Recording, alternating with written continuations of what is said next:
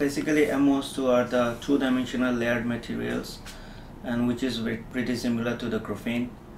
And unlike graphene these nanomaterials has tunable band gap and due to that they have an enhanced optical absorption which is present in the graphene. And basically this MOS2 nanomaterials is used for solid lubricant.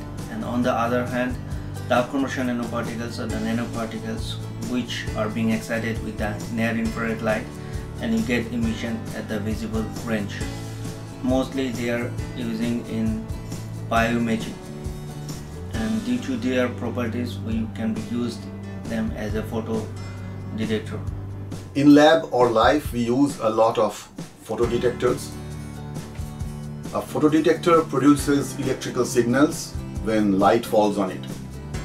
A good detector produces more signal with low light intensity. So the purpose was to make a high responsivity light detector in the nanoscale.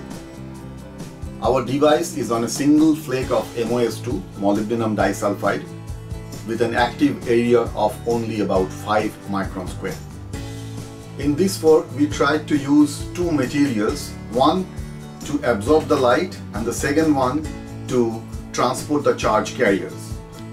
So in this case, the upconversion nanoparticles were used to electrostatically attach to molybdenum disulfide and when we shine light on it, the light will be absorbed by the UCNP, that means the upconversion nanoparticles and the charges it produces will be transported through the molybdenum disulfide to the contacts to produce the current.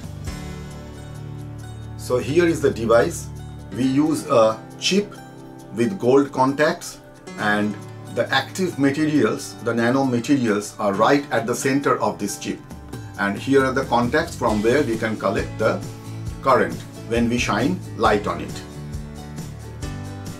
basically we wanted to develop a photo detector which can work in the NIR light but due to the optical absorption properties of MOS2 we also get down to the having the responsivity in the visible range also so now we have a broadband detection of this photo detector and apart from the photo detection this uh, sensor can be used as a power meter and as well as in the, some defense applications where the NIR and the both UVB's range can be detected.